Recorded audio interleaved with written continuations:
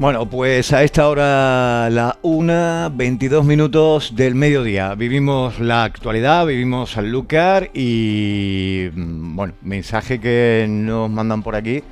No se preocupen ustedes que no ha pasado absolutamente nada. Luego, antes de terminar el programa, volveremos a comentar un poquito esas dos personas, pero que no han tenido ni tan siquiera que tener acceso, o no han tenido en este caso que actuar los servicios de de sanitarios en ese accidente que ha tenido lugar esta misma mañana, hace muy poquito tiempo, en la zona de Huerta Abajo. Nos lo, os lo hemos contado. Pero ahora vamos con otra parte de la actualidad local, eh, sumamente interesante, porque sobre todo eh, afecta, está afectando a muchísimos ciudadanos, a muchas familias de salud la mayor. Y estas cosas son las que ocurren.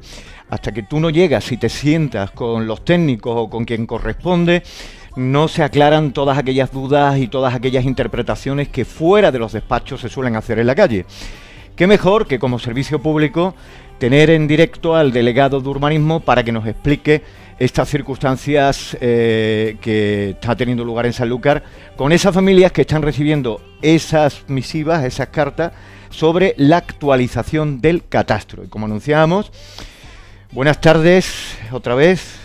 Eh, López Raya, delegado de urbanismo, ¿qué tal? Buenas tardes, Antonio.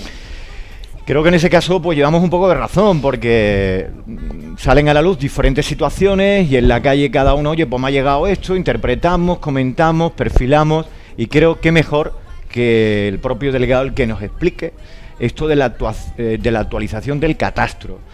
Todo aquel que tenga duda o que quiera decirnos algo, nosotros se lo trasladaremos en estos 30 o 40 minutos que vamos a estar con el delegado. Así que cuando usted quiera.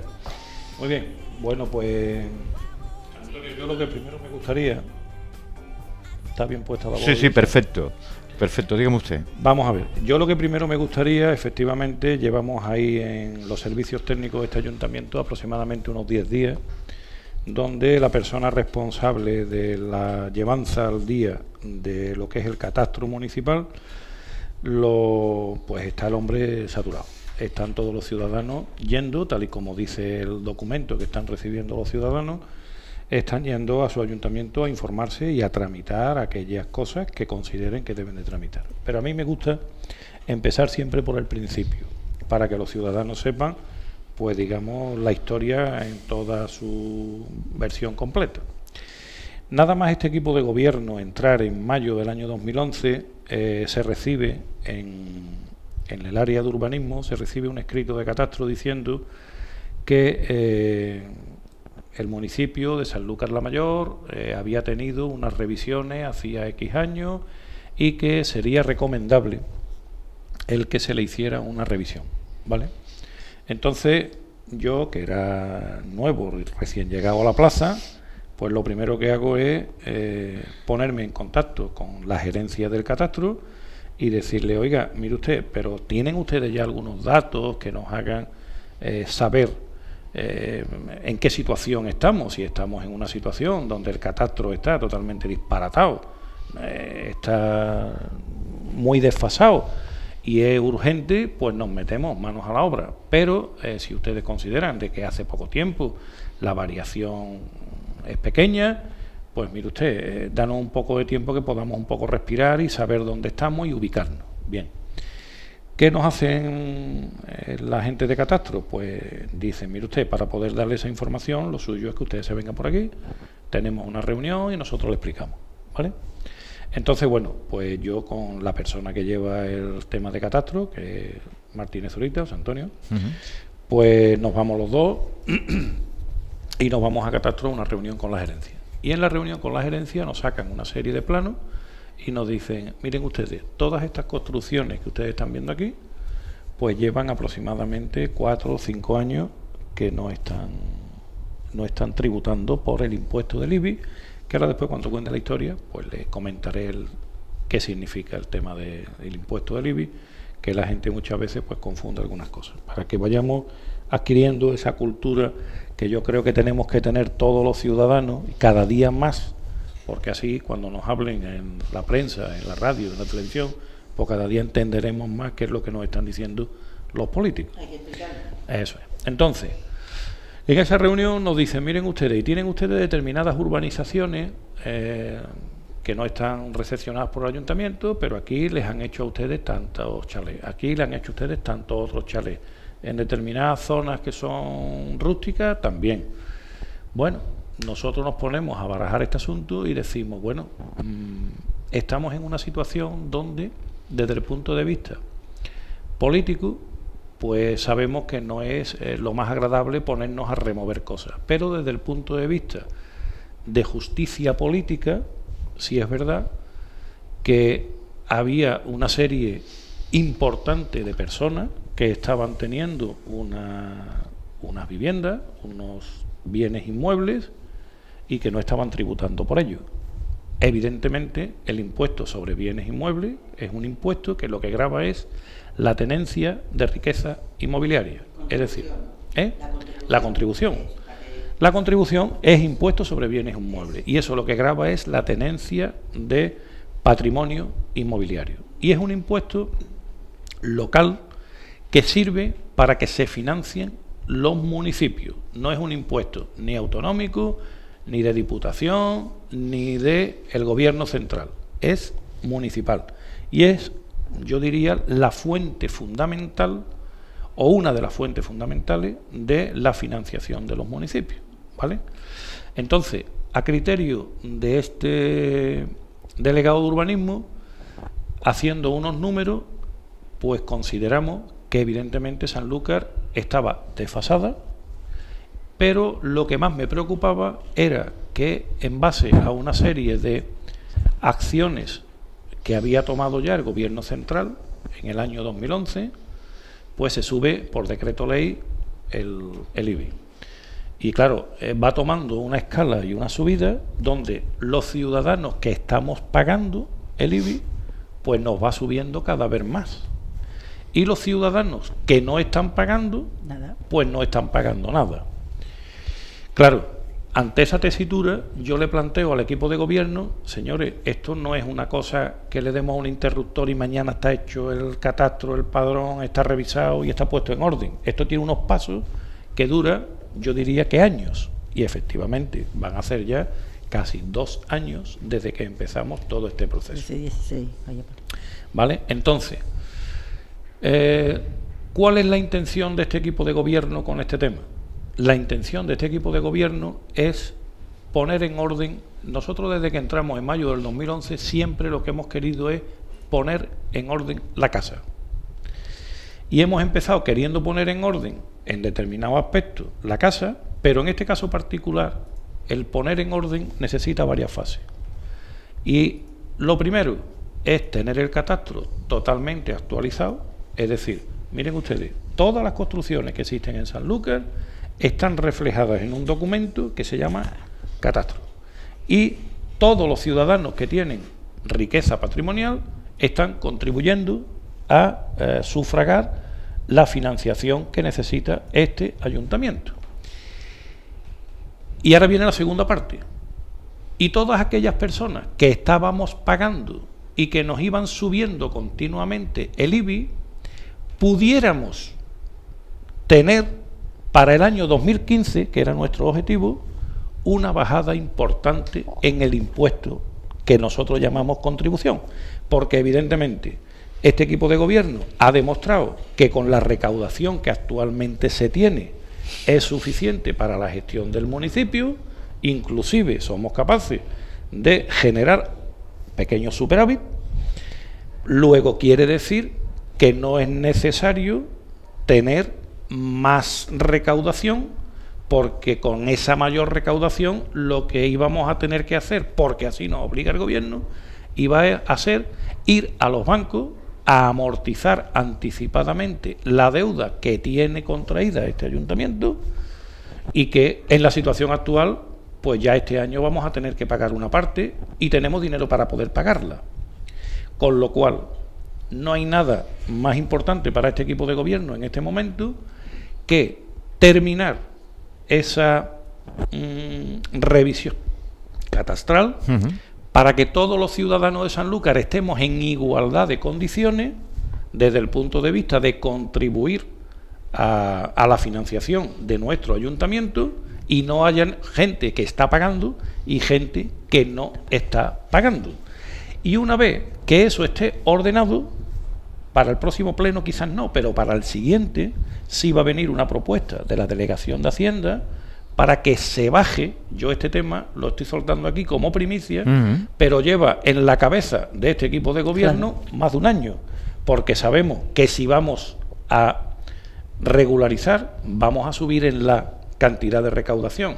Si consideramos que esa cantidad, en principio, hombre, a todo el mundo le gusta recaudar más, pero también es verdad que si venimos eh, por un periodo de crisis, y encima le estamos subiendo los impuestos a los ciudadanos, a nosotros que también somos ciudadanos, no se nos escapa que no habría mejor noticia para nuestros ciudadanos sanluqueños que decirle, oiga, mire usted, hemos puesto en orden la casa, pero es que aparte de poner en orden la casa, como han aflorado pues personas que no estaban contribuyendo, ahora no tienen más remedio que contribuir, pues eso que ahora estos ciudadanos van a contribuir, como no necesitamos más, y si acaso necesitamos un poquito más, nada más, pues la diferencia, lo que nos sobra, lo podemos rebajar del impuesto para todos los, ciudadanos. A los que han pagado. No a los que han pagado. Para todos. A todos los ciudadanos. En general. el ayuntamiento tiene un coeficiente que dice, oiga, mire usted, del coeficiente que corresponde al impuesto, yo necesito el 65%. Bueno, pues usted pone el 65%. Pero si con ese 65% voy a recaudar más de lo que sería necesario, me parece que también es de justicia decirle a los ciudadanos, oiga, mire usted, que vamos a bajar la contribución, yo los números que tengo hechos son del orden del 10%, pero mm, aunque diga ese número, no se lo tomen a pie juntille, porque hay que afinar. Yo tengo cita en catastro dentro de un mes que me van a decir exactamente a dónde nos vamos con la homogenización, con la puesta al día de ese catastro. Y, a dónde, y como sabemos dónde estamos, pues podemos calcular perfectamente el coeficiente que podríamos reducirle la contribución a los ciudadanos para que todos los ciudadanos se vean beneficiados y todo no sean malas noticias. Esto es política, estrategia política. ¿vale? Eh, Ahora bien, perdóname Antonio, déjeme que termine. Ah. Ahora bien, los ciudadanos, eh, ¿cuál es el proceso? Mm. Bueno, pues el proceso primero ha sido que ha venido una empresa contratada por Catastro, y ha estado trabajando con los servicios técnicos, ¿vale? Había un gran error en la situación anterior, que de hecho me acuerdo que yo tuve aquí una discusión en, el programa Modela San Lucas, porque un señor me decía que su finca era urbana y yo le decía que no podía ser urbana. Y es que con informaciones anteriores de posibles eh, recalificaciones de terreno en el PEGO, pues ya se le dio a Catastro que terrenos que iban a ser o que podrían ser recalificados de urbanos ya eran urbanos. Entonces, Catastro fue inducido a errores. Entonces, todo eso lo hemos corregido. Y yo he hecho especial hincapié en que no quiero ni una persona que proteste porque tenga una finca rústica y se le esté aplicando al suelo el baremo de suelo urbano. Porque en su día se le dijo que se le iba a poner urbana. Oiga, cuando lo sea, entonces, pero mientras no lo sea y sea rústica, usted tributará por un suelo rústico. Ahora bien, las construcciones tributan por unos parámetros que son urbanos y esos parámetros los publica el Boletín Oficial del Estado. Ahí nosotros no podemos decir nada. Perdóname, Carmen. Ahora bien, dicho esto, ese trabajo está hecho, pero ese trabajo no está hecho ni por los servicios técnicos de Sanlúcar, que lo único que hemos hecho es colaborar y darles información, sino por unas empresas que vienen de fuera, con unos señores que van pasando por los sitios, que utilizan fotos aéreas, etcétera, etcétera. Y quiero decir que eh, esos temas o, los resultados de ese estudio pueden ser mm, exactos o pueden tener errores. Por eso, como pueden tener errores, es por lo que se le manda a todos los ciudadanos un primer estado de cuál es la revisión de su situación eh, desde el punto de vista catastral y se le dice, pues mire usted, usted tiene una casa de tantos metros y tiene un patio y una piscina y una cuadra y un no sé qué y un no sé cuál. Mm, tengan en cuenta que esto lo hacen señores que no entran en el domicilio, con lo cual, con los medios que tienen, ellos hacen lo que pueden hacer. Y ahora es el ciudadano el que si de verdad, de verdad, de verdad quiere poner en orden su situación catastral, se tiene que personar en el ayuntamiento y al técnico, a José Antonio Martínez Zurita, decirle, mire usted, es que yo no tengo una cuadra, es que yo lo que tengo allí es un sombrajo. es que yo no tengo este cuarto, esto es un, un, merendero, Sí. o esto es no sé qué y esto no sé cuál. Y si le aportan fotos, pues mejor, porque eso nos sirve para ahora nosotros mandarle a Catastro un escrito diciéndole, oiga, en la revisión que usted le ha hecho a este señor, usted ha cometido los siguientes errores, pon, pon, pon y pon. Y aquí tiene usted la foto. Y ahora nos tiene que venir otra vez una carta corregida para que mm, el ciudadano pues mm, diga si está conforme, no está conforme mm, en un plazo prudencial. El plazo prudencial son, me parece que son 15 días o 10 días, no me acuerdo ahora mismo. 15. 15 días. 15. Nosotros vamos a pedir a Catastro que dado la avalancha que tenemos allí de gente que viene a informarse un y a corregir, pues no va a haber ningún problema en que se alargue, efectivamente, pero lo que está claro es que el ciudadano no se puede dormir porque pasado ese tiempo termina y aquello adquiere fijeza. Y aquello pasa a los datos del padrón del impuesto sobre bienes inmuebles y automáticamente para el año 2015 se generan los recibos. Y una vez que vienen los recibos pues ya son reclamaciones no tan rápidas como las que puedan hacer ahora en el ayuntamiento, sino que ya son de otro de otra índole, que al final se llega a que la situación sea una situación de justicia, pero la tramitación la hacen más lento. Quiero Mm. decir otra cosa Sí. para que después, en fin, que no me queden cosas en el tintero. Aquellas personas que durante pues un tiempo importante han estado sin tributar, el reglamento de revisión de este impuesto obliga a que una vez que se detecta la irregularidad, Eh, usted mm, detecta, se detecta y se le va a emitir el recibo correspondiente al año en curso. Al año siguiente usted ya será el, el padrón, pero es que como usted ha estado defraudando, pues se le van a mandar los recibos de los cuatro años anteriores. ¿Vale? Y explico por qué. El reglamento del IBI funciona de la siguiente manera. Cuando un señor hace una obra, tiene que solicitar una licencia. sí. Y cuando solicita una licencia y hace la obra o la construcción, pues él debe de dar de alta en el padrón del IBI, para eso hay un formulario que es el 901, que lo tiene que, él tiene que declarar, pues mire usted, yo he hecho un cuarto trastero lavadero en mi azotea, y lo debe de declarar. Si no lo declara, se supone, y a lo mejor es un poco por desconocimiento o, o sin mala fe, sin mala intención, pero la ley también en ese tema es claro, mm, procede la reclamación de los cuatro años anteriores. Que este hombre ha estado 10 años con ese cuarto trastero lavadero o con esa casa en medio del campo, que es un suelo rústico, que además es ilegal y todo ese tipo de cosas, pues bueno, se va a ahorrar cuatro años, pero existe la posibilidad de reclamarle hasta cuatro años atrás. Ajá, ¿Vale? pues repetido Es decir, cuatro años. No, esa duda me gustaría que la aclarara. Eh, mm, si acabas de hacer mm, un ejemplo muy explícito. Si hay una persona que, por desconocimiento, etcétera, etcétera, etcétera, eh, durante 10 años, o ponle 15 años, Vale. eh, no eh, ha actualizado, No ha regularizado su situación catastral. efectivamente, solamente Solamente se le, se le reclaman Los los cua- los cuatro, cuatro años, años. anteriores. bien, De es- cuatro años para atrás prescribe. Vale. Bueno, mm, Y otra- y otra cosa, Sí, sí, antes de dudas. ¿no? Antes de que digamos plantemos dudas. Venga. La gente está recibiendo junto con su regularización catastral un escrito, o perdón, una carta de pago con una tasa que cobra catastro 60 euros. 60 pavos. 60 euros. La verdad es que a nosotros nos dijeron en esa reunión que bueno, esto conllevaba una tasa. No nos dijeron nunca de cuánto era la tasa. Pero bueno, mm, todos los movimientos que hace la administración y cada día más la administración tiende a ser autosostenible. Quiere decir que si se hace algo, pues ese algo mm, Cuesta. cuesta y la manera de cobrarlo es mediante tasa. Nos puede parecer excesivo. Yo entiendo que habrá expedientes en los que, pues sí, y otros expedientes en los que sea corto.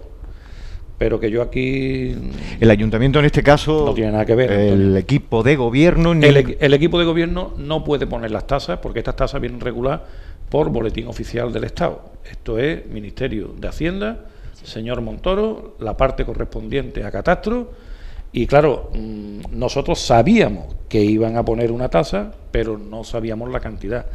Yo la verdad que cuando he recibido... ¿Y quién la le ha mía, puesto esa cantidad? Esa la pone el Ministerio de Hacienda. Eso. Lo, lo aprueba el Ministerio de Hacienda. 60 euros. eh, revisión catastral, igual que nosotros tenemos, por ejemplo, para una licencia de obra menor, pues me parece que son 50 euros, pues eso lo que intenta es pagar el coste en el que incurre la administración para tramitar todo ese documento.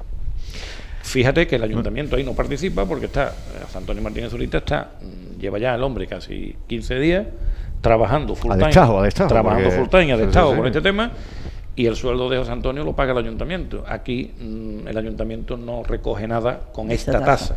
¿vale? Bueno, yo creo que has dicho varias cosas eh, en toda la explicación. Una de ellas, por ejemplo, que posiblemente, mm, bueno, te lo iba a preguntar, porque a mí es una cifra que me han dado, y me, me han dado directamente desde el propio ayuntamiento, no sé si tú tendrás conocimiento, eh, 1.200 cartas que se han mandado para el tema rústico y aproximadamente unas 600 para el tema urbano. Más o menos es posible. Es posible. A ver, eh, te comento además de forma breve algunas dudas. Eh, la primera de ellas, ¿son las únicas que se van a mandar o es una primera remesa? ¿Pueden ir llegando más? Que yo sepa, son las únicas. Son las únicas. De hecho, hay gente que todavía la están recibiendo. Claro, claro. Tú y yo conocemos a una persona que la acaba de recibir hoy, Ah, creo ¿eh? que hablando contigo. En fin, bueno, eh, eso por una parte. Otra de las cuestiones que también lo has dejado muy claro, te lo digo porque hay gente que está llegando No, para, para, para esa las cartas, las cartas están llegando. Eso es. Mm, en la cant- las cantidades que tú me dices me cuadran un poco con el desmadre que teníamos en cuanto a la situación catastral, ¿vale? Sí. Y una de las cuestiones también que tú estás aportando, que debido a la avalancha y demás, pues posiblemente no va a haber ningún problema.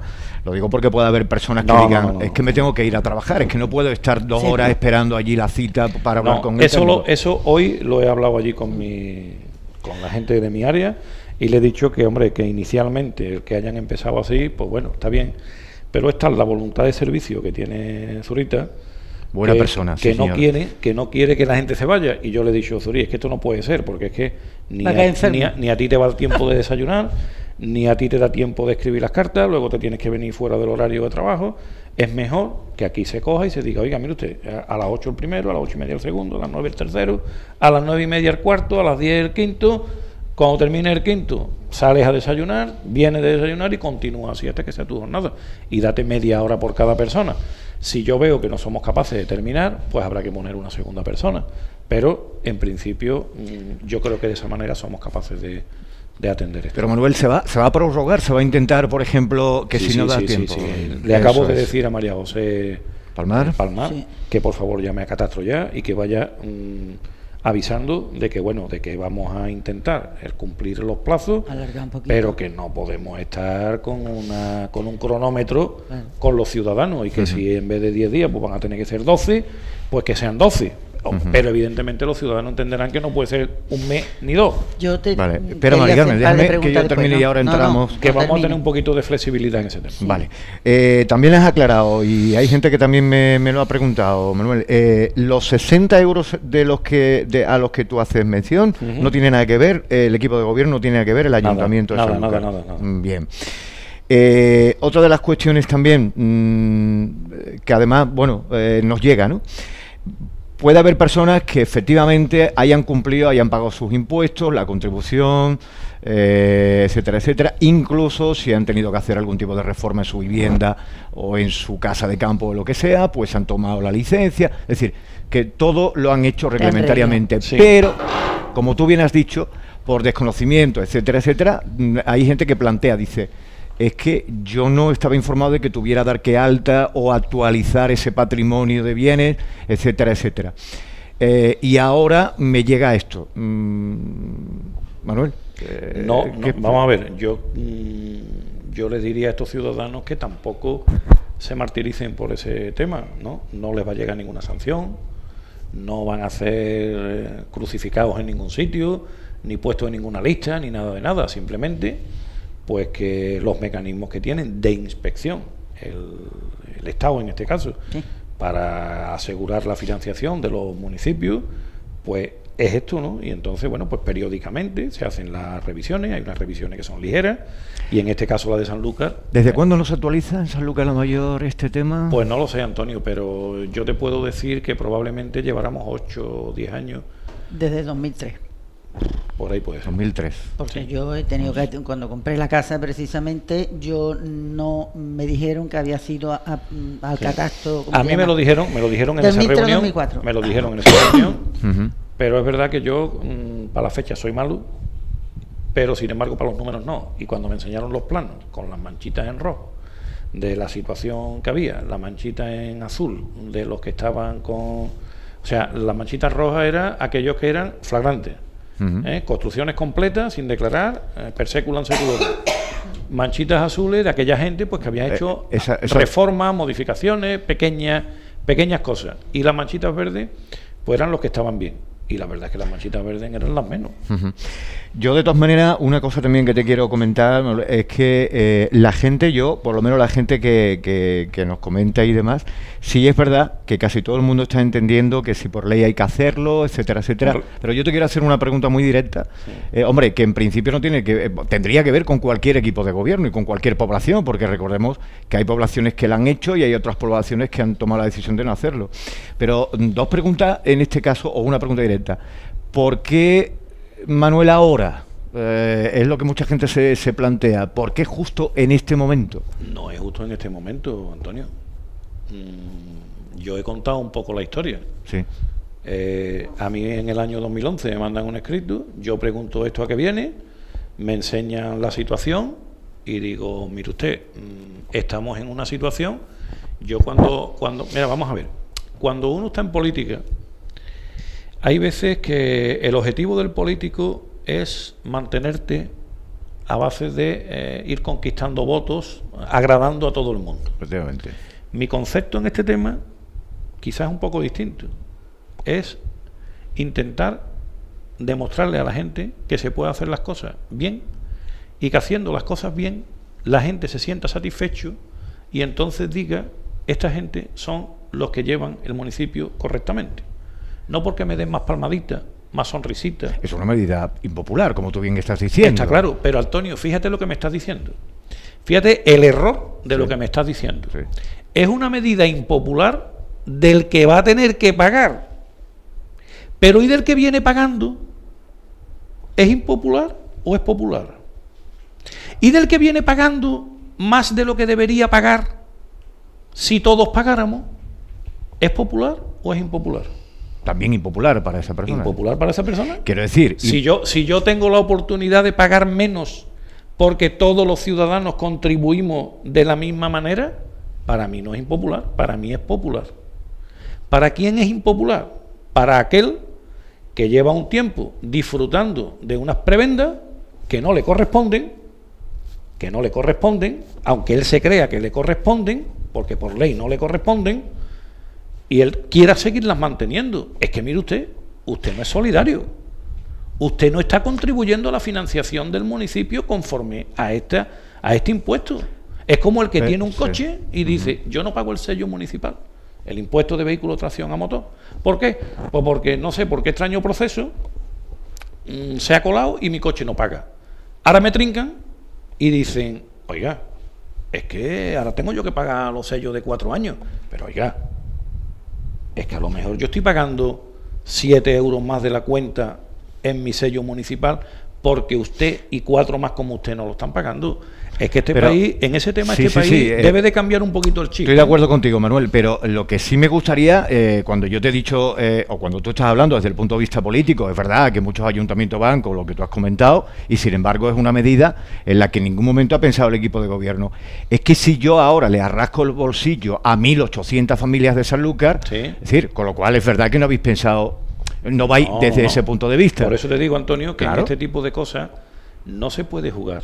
Porque por jugar, eh, tú dices, es que le rasco el bolsillo a 1.800. Legalmente, quiero decir, y justificadamente. Sí, pero es que hay 1.800 que se lo están rascando a otras 3.000, porque por esas 1.800 no contribuir como tienen que contribuir, como les corresponde, hay otras 3.000 que están pagando más de la cuenta. Pero ahí voy a la pregunta que yo te quería hacer directa, Manuel. Eh, mm, desde el punto de tu, además, bueno, desde el punto político y, y desde el cargo que tú ostentas, esas 1.800 familias, Sí. eh, ¿tenemos claro que no han pagado o no han actualizado porque no han querido, porque han querido colarla a la administración? ¿O, como tú bien has dicho anteriormente, por desconocimiento Antonio. o porque nadie le ha informado? Vale, vamos a ver. Eh, el que tiene una vivienda en los ranchos y no paga el IBI correspondiente a la vivienda, sabe de sobra que se está ahorrando el IBI. ¿Vale? Luego ese sabe de sobra que no está pagando su contribución. El que lo tiene en los encinares y no está pagándolo, sabe de sobra que se está ahorrando la contribución. El que lo tiene por ahí por medio del campo, que se ha hecho una casa, un chalecito, sabe de sobra que no está pagando la contribución de una vivienda. ¿A quién podríamos decir, oiga, mire usted, es que por desconocimiento y tal, y que coste que hay una, hay una máxima que yo aprendí a sangre y fuego, como aquel que dice, que es que el desconocimiento de la ley no, No te, no te exime De su cumplimiento. ¿vale? El único que puede decir, oiga, es que yo no sabía nada, y tiene razón, es a lo mejor pues, el que ha hecho un ático, el que ha hecho un lavadero en una casa, El que ha hecho una ha habitación. hecho una cochera, el que ha hecho una habitación. Vale, pero, pero Antonio, eso mm, te vuelvo a repetir, que eso no le está produciendo ningún perjuicio, que no va a tener ninguna sanción, que no va a tener ninguna multa, que no va a tener ningún recargo, que lo único que va a tener es, oiga, que usted tiene que pagar los últimos cuatro años porque me puedo permitir el, el reclamárselo. ¿Vale? Bien, bien, bien, y es que eso es la ley así. Ahora bien, que esas 1.800 familias, tú dices, se sienten molestas. Pues mire usted, yo entiendo que es humano que se sientan molestas, porque a ninguno nos gusta pagar. Pero oiga, no me digan ustedes que no es noble el objetivo del equipo de gobierno. Oiga, ante una situación de desmadre, vamos a poner orden. Y una vez que pongamos orden, el, el- el beneficio de esa puesta en orden, vamos a disfrutarla todos. Yo creo que la, eh, eh, la- la, eh, la explicación, ahora te dejo a ti, Mari Carmen, la explicación que acabas de dar es definitiva. Pero yo te, otra pregunta directa, que a ti te gusta que yo te haga preguntas directas. A mí me encanta ¿Qué, que me cosas. qué responsabilidad o hasta qué punto, eh, partiendo de la base que hay 1.800 familias que tienen efectivamente esa responsabilidad, unos de una manera y otros de otra, pero todos, como tú bien has dicho, el tema de la ley, que no exime el desconocimiento al cumplirla, pero ¿qué, qué tipo de responsabilidad pues ha tenido, y te pongo por caso, el anterior equipo de gobierno y el actual equipo de gobierno? Vamos a ver, eh, la responsabilidad que haya tenido el anterior equipo de gobierno, pues yo no te la puedo decir porque yo no estaba allí y no conocía el detalle. Pero evidentemente eh, la situación que se va a encontrar eh, El equipo el equipo de gobierno que entre en mayo del año que viene, pues evidentemente no va a ser la de desastre o la de desmadre que me encontré yo. Y sin embargo, fíjate, las decisiones, Antonio, mm, yo siempre digo que cuando las cosas son blanco y en botella, es que no hay que darle muchas vueltas. Y tú dices que son 1.800, pers- 1.800 familias. Pues mire usted, serán 1.800 familias, pero es que esto no es de recibo. Y como no es de recibo, pues iniciemos el proceso. ¿Qué pasa? Que el proceso, en vez de tardar un año, ha tardado dos. Dos. Y por eso estamos donde estamos. Es que, ¿qué culpa tenemos de que el desmadre haya sido tan grande y hayamos tenido que tener 1.900? Pues mire usted, es que lo que no nos parecía justo era seguir presionándole a los señores y a la familia que estaban pagando, cuando había ahí un volumen importantísimo de personas y de familias pues que no estaban contribuyendo. Bien. Tú eres consciente del titular que has dado aquí hoy. No que una vez que se, sí, que una vez que se regularice todo esto globalmente, de que todo haya ese equilibrio y todo ordenado, Pero que no, Antonio. se baraja esa posibilidad No, no, de no, esa- el titular lo puedes dar ya. El titular es que el objetivo de este equipo de gobierno es que la contribución del año 2015 baje. Pero eso es fruto de esa regularización. de esa regularización como consecuencia mm, de esa decisión que se toma. Puedo. Venga. Voy a perder cinco minutos. Cinco minutos. Cinco Ya. o diez. Bueno, mira, por ejemplo, tú has dicho que, visto que estas 1.800 familias o las que sean no pagan, naturalmente los que pagamos pagan. No, pagan, no, no, pagan, no, no, no, no. regu- no tienen no, regularizado. No tienen regularizado, por lo tanto no pagan el No, IBI, no pagan no, contribución. claro, no estaban de consecuencia, los que pagamos contribución, mm, tú dices que pagamos más precisamente porque esta gente no, no se regulariza todo, que pagaríamos menos no en el 15. Bueno, se bajaría, digamos. Venga. Yo digo, hay un tiene que haber un parámetro, ¿no? Para, para, para- o sea, yo por mi casa, tú por la tuya, cada uno tendrá un parámetro a segundo los metros, a segundo como tenga la casa, ¿no? Eso no creo que aumente o baje según si pagan los No, demás no, o no. no, no, para. Eso es mm, así, ¿no? Vale. Otra cosa, vamos a, supuestamente vamos a poner que esta gente tengan una multa de cuatro de cuatro años, no multa, sino No que tengan que pagar, no. es una revisión. Una revisión. Suponte que no tienen dinero. Tienen la, la posibilidad de dilacionar Sí, sí, sí, en pagos mm, pequeños, digamos, al mes. ¿Se le va a dar esta opción? Se le va a dar, no, eso, el servicio de recaudación es el OPAEF. Eh. Y el OPAEF tiene eh, establecido Sí. posibilidades para fraccionar O las sea, el ayuntamiento en ese sentido. El ayuntamiento no, pero si por El OPAE. casualidad el OPAE pusiera alguna cosa, yo creo que mm, ustedes también influirían en decir, mm, no tiene, démosle a no esta gente. no tiene mucho margen el ayuntamiento. Ajá, bueno, pero es una buena cosa. Eh, tú antes decías que el que tenía un terreno rústico, hay gente que tiene la casa, ¿no? Y tanto tú la tasa la, la paga como terreno rústico porque es terreno, no la casa, el terreno paga un tanto, digamos, de contribución por terreno rústico. Correcto. Ahora, en el caso que yo tengo un terreno rústico y tengo una casa dentro, ¿cómo viene fa- hecho el pagamento? O sea, ¿la casa me, pa- me, me tiene un pago aparte que el terreno? Vamos a ver. Cuando tú tienes un bien inmueble, supongamos yo tengo que un terreno tenemos- Tú rústico. tienes un, un suelo y ese suelo es rústico, ¿vale? Y ahora tú tienes una vivienda Mm. y esa vivienda, ¿vale? Entonces, el, el cálculo de lo que se llama la, el valor catastral de, la, de tu bien inmueble, el valor catastral es como en los otros impuestos sería la base imponible, ¿vale? Vale. El valor catastral es el valor del suelo más el valor de la vivienda. ¿Cómo se calcula el valor del suelo? Pues mire usted, tantos metros cuadrados de suelo rústico que yo tengo a X euros por metro cuadrado de suelo rústico, siendo eso X un valor que fija el Ministerio de Hacienda, en función del sitio donde esté, de la región, no es lo mismo Cataluña que Andalucía, o Vale. que usted esté cercano a la playa que no lo esté, que esté cercano a Sevilla que no lo esté, en definitiva.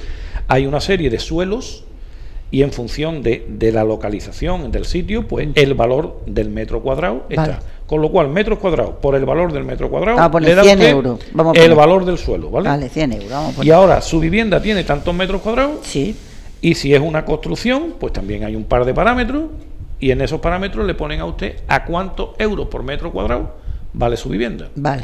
Con lo cual, haciendo la multiplicación y haciendo la suma, pues usted llega a lo que es el valor catastral. Entonces yo teniendo esa vivienda en un suelo prácticamente rústico que ¿Correcto? normalmente no se podría construir, No se debe de construir. no se debe construir, lo cual, lo cual yo estaría en prácticamente mm, fuera de ley. Está usted fuera de ley, pero cuidado. La ley del IBI también Sí. te dice que Eh. lo que graba es la tenencia Ajá. de bienes inmobiliarios. Es decir, usted puede tener un bien inmobiliario, iba a decir en la luna, no, Sí, en un sitio que sea donde sea, Sí. Pero que el municipio a Ah. usted lo graba. Eso. Independientemente Que de sea- que el municipio pueda iniciar un expediente para demolerle aquello Es- o no demolerle aquello. Ahí va yo. Cuando esté Ahí- demolido, cuando esté demolido, pues entonces usted pagará por el solar. Que so- Ahí va yo. Que sobre ese tema es otro debate amplio. Sí, Ese pero, es otro tema de debate amplio. Claro. La que si cantidad tú- de construcciones ilegales. Claro, claro. pero ahí va todo en otro discurso que si también. tú, fíjate, eh, eh, eh, me has No he dicho terminado, que hay Antonio, perdona. 1.800 personas que van a tener que pagar y que fíjate el momento, Claro, imagínate la que formaríamos Claro. si dijéramos, claro. pues vamos a liarnos la manta a la cabeza Claro. y vamos a formar esto. No. Como me pasó mm, a una semana de entrar en, en el, en el área de urbanismo. Tenéis cogido ya la ave, ¿no? Países. No, no, no, no, el AVE no. Es que fui a, a- a urbanismo, a Sevilla, a la delegación provincial, y me dice, oiga, ¿usted sabe la cantidad de problemas que usted tiene allí de, de- de construcción ilegal en los suelos y tal y que cual? Y le dije, pues mire usted, tendremos que buscar una solución. Dice, ¿cómo una solución? Es que el responsable de, de- de demoler aquello y de poner aquello en orden entonces, es usted. Digo, pues mire usted, yo llevo una semana y allí llevan las viviendas Años. un montón de años. Siglos. Eso se lo tenía usted que haber dicho a todos los que han pasado por allí. A mí ahora no me diga usted nada, porque yo no voy a hacer Claro. nada en ese tema, Claro. como no sea que venga apoyado por una ley en condiciones. Y que me obligue a hacerlo. Y que me obliga. No, no, la ley te obliga, ¿eh? Sí, sí. O sea, la ley ya existe sí, que te obliga. existe. Otra cosa que tú, Que tú pues, puedas. digas, oiga, mire usted, mm, ¿usted sabe lo que está diciendo? Porque claro, nosotros hicimos el tema este del AFO para intentar regularizar vivienda, pero claro, hay unas casuísticas y unas historias que no se resuelven con esa ley. No. Ahora yo Con te- lo cual la Junta de Andalucía tendrá que modificar ese famoso decreto Claro. si de verdad quiere arreglar ese problema. Mari Carmen, Una vamos cosa a ir pequeñita, pequeñita, final, sobre favor. eso que hemos afrontado ahora de la, de la ilegalidad o no ilegalidad de las viviendas. Pero eso no se trata, aquí estamos hablando del IBI. No, del IBI. Si yo pago el IBI por esa vivienda que tú dices en un suelo rústico, yo pago el IBI, Mm. Sí. vamos a pagar. Tengo derecho a tener todos los derechos que tiene un ciudadano del no tiene ayuntamiento. usted- no tiene usted derecho. Ni agua, ni el luz, ni Nada, nada. nada, Ah, entonces, ¿qué, ¿qué te pago? nada, No tengo derecho a nada. a nada. Usted lo único que tiene derecho es a pagar, eh, Eh. a sufragar los gastos del municipio Eh. por tener una vivienda. Vamos a ver, vamos a ver, vamos a ver. Por el hecho de tú estar trabajando y ganar un sueldo, tú tienes derecho a tener luz, agua, basura. No. yo, yo la pago. No, no, no, no, vamos a ver. Olvídate de que tienes tu casa y de que Yo- estás en eso. ¿Por eso tú tienes derecho? No. Por tener una casa en medio del campo y estar pagando un IBI, ¿ese impuesto le da a usted derecho a eso? No. ¿No? A usted le da derecho a eso el tener recepcionada Efectivamente, que es la, urbanización, el suelo y todo debidamente tramitado Claro, claro. ante el ayuntamiento. Cuando usted tenga eso, ¿Y cómo lo hago si tengo un suelo rústico? hija, ¿Tú no me lo metes? Hija, pues no, pues Ahí no. está el problema. Pues ahí está el problema. Ah. Diríjase al municipio problema. y busque la, busca la Ese fórmula para recalificación y Claro. no, es que me, me han llegado cosas que he dicho, yo pago, por ejemplo, la, la contribución, Ah. o sea, paga IBI, y estas cosas dice, y es que a mí me da, tengo luz, la farola y eso, pero no me dejan poner el agua, no me dejan poner esto. Yo digo, yo lo voy a preguntar. Es que una cosa no significa claro, la pues ya otra. está. Yo, A ver, de todas, mane- acláralo. de todas maneras, bueno, eh, hombre, como ciudadano tienes derecho, porque así lo pone la Constitución, a muchas otras cosas. Una Claro. vivienda, la Claro, educación, la sanidad, etcétera, etcétera. Totalmente de acuerdo. Pero es diferente a lo que estamos comentando aquí. Bueno, Bueno, para ir terminando, dime. Antonio, eh, las personas que tengan la casa esta en el suelo rústico que no es legalizable, evidentemente tienen derecho a la educación, tienen derecho a Efectivamente, con independencia a de que esté. Ahora, claro. mire usted determinados servicios, pues mire usted, dependen de otra cosa, no dependen de este impuesto. Efectivamente. Bueno, Mm. eh, yo voy a terminar. A ver, eh, una persona que me ha llamado, de hecho he bajado el micro, tal Sí, igual, sí. eh, Carmen, eh, me decía, pero al parecer no lo ha escuchado al principio, pero lo has explicado, lo de los 60 euros, que por qué todo el mundo está pagando lo mismo. Yo le he explicado fuera de antena precisamente lo mismo que tú has explicado.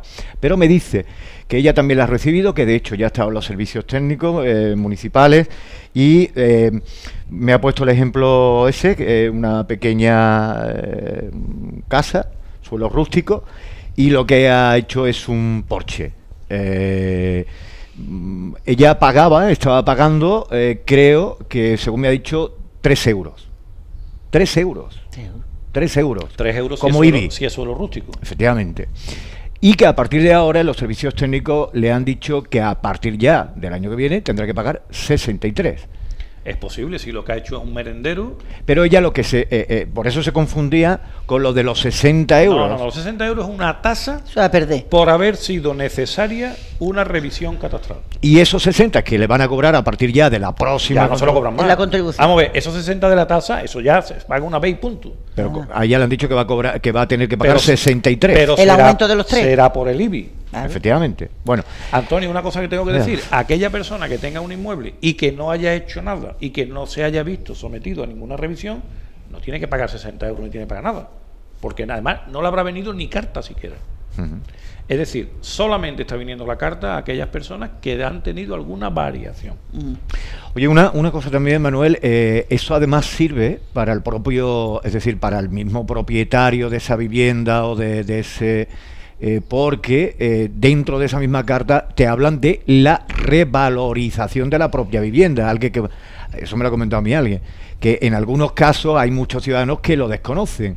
Es decir, mi vivienda con esta, con este porche o con esta habitación, con, con este cuarto, no vale igual que valía antes. Ahora vale Ah, menos. Es decir, que además también eh, para el propio propietario, para el propietario también es interesante el tema de la actualización del propio catástrofe, catastro. Antonio, eh, eso en algunos casos, para determinadas operaciones, Efectivamente. será positivo, Y para otras, para determinadas operaciones puede ser negativo. Ahora que han bajado las viviendas tendría que haber bajado el IBI. Porque Bueno. si mi vivienda cuesta mucho menos de la que yo la Veremos. pagué y lo que yo vesto, por regla general, a mí me tendrían que bajar la contribución. A ver, Sí. o sea, razonando de esta manera, si antes una vivienda valía 10 millones y ahora vale 5, Bien. yo sigo pagando por 10 millones, hemos pasado un tiempo antes de la crisis donde el valor catastral, valor catastral es el valor de tu bien inmobiliario, ¿vale? Antes esta mujer que tú decías tenía sí, sí. solamente un suelo rústico y ahora tiene un suelo rústico y un merendero. Ahora tiene que pagar por el suelo rústico lo que pagaba antes y por el merendero por lo que le corresponda, ¿vale? Entonces, 62 por un merendero. ¿sabes? El valor catastral- De todos los pa- palos, palitroques allí. No, lo que pasa, no, Carmen, lo que pasa Ya, es ya. que una vez que se ponen, arrasan con todo, ¿no? Y lo ponen todo. Hombre, claro. No hay discriminación de decir, pues mire usted, aquí hay una perrera. Entonces, si hay una perrera, ¿para qué voy a hacer una variación? Eh, ellos se meten porque además cobran 60 euros por cada variación. Y entonces, pues los 60 euros no los perdonan. Eso está claro. Claro. Pero a lo que iba, hace, antes de la crisis, Antonio, el valor catastral estaba muy por debajo de lo que era el valor real de mercado. Hasta tal punto que cuando se pagaba un impuesto, que era el impuesto de transmisiones patrimoniales, bueno, pues habían revisiones y todo este tipo de cosas. Ahora con la crisis, inclusive el valor catastral de determinados bienes inmobiliarios se ha quedado, yo diría que por arriba del valor real de mercado. Y seguimos teniendo problemas cuando hay impuestos de transmisiones patrimoniales porque siguen haciéndolo con los mismos números, con lo cual tú vendes una vivienda a un valor real que más o menos coincide con el patrimonial y en la valoración que te hacen en el registro de la propiedad, en la oficina de Hacienda de la Junta de Andalucía, te dicen que no, no, que el valor real debe ser del orden de dos veces y media el valor catastral. Con lo cual, eh, la respuesta de todos los ciudadanos es, si usted me lo da, yo por mí encantado, Mm, Claro. se lo vendo a usted. Oye, eh, una, una duda que también me viene. eh, eh, el, el baremo, que eso no lo pone el ayuntamiento ni lo pone el equipo de gobierno, el baremo por... El valor de, eh, de- claro, de por las eso, casas claro, de- es que hemos hablado de esta señora que lo que ha hecho es un merendero, otra persona, tú acabas de nombrar una perrera, otra persona podía hacer una habitación, otra persona podía hacer un pequeño cuarto de baño, tal. Eh, ese, eh, eh, ese valor, bueno, creo que lo has explicado antes, ¿no? Esos valores los tiene puesto el Ministerio de Hacienda. Ajá. También las zonas Sí, sí. se valoran.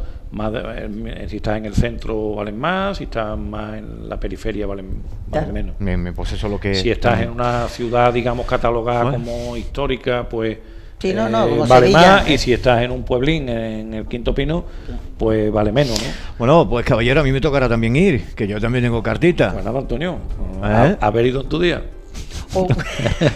Oh. Es que la gente, hay Malo, mucha gente malo. que, que no conoce Malo. muy bien, que no conoce muy bien a, a este delegado. Pues ha hecho a ver en tu día, como diciendo, tomate por saco, Antonio Ríos. No, no, Vamos. no, no, No, no. No, tono jocoso. Claro, claro. Aquí ya Porque que además acá. yo sé de gente que le ha llegado, gente de todo, de todo tipo y de todas partes Sí. y demás, ¿no? Eh, y, y demás. Antonio, te voy a Dime. responder políticamente correcto. Venga. Estaríamos encantados de atenderlo usted en los servicios técnicos del ayuntamiento. Pero vaya usted a la fila también, ¿eh? que yo no me entere que tiene preferencia hacia los demás. No la, ¿eh? seguramente que no la tendré. Pedirá el día libre. Bueno, eh, bueno Manuel, si quieres agregar algo más, que No, nada, estas cosas yo- están muy bien, de que de vez en cuando los delegados del Ayuntamiento de Sanlúcar, Expliquen. a las diferentes situaciones que se viven en nuestra población, de dudas, de interpretaciones, porque luego pasa lo que pasa, pues está bien que de vez en cuando y en la mañana de la radio, que es donde está y fluye la gente, podáis venir y contar y sacar de dudas a todos los ciudadanos y a todas estas cuestiones que se plantean, que repetimos, que es importante, que eh, en el ayuntamiento es donde se debate lo bueno y lo malo de nuestro pueblo. Yo, Antonio, em, como tú bien has dicho antes, a lo mejor a mí hay mucha gente que no me conoce eh, adecuadamente, pero sí es verdad que yo soy una persona a la que me encanta dar explicaciones, me encanta explicar el por qué se hacen las cosas, porque por lo menos en mis áreas no se hacen las cosas eh, porque sí, se hacen siempre sopesando el bien general por encima del bien particular y el bien de la mayoría por encima del bien de la minoría.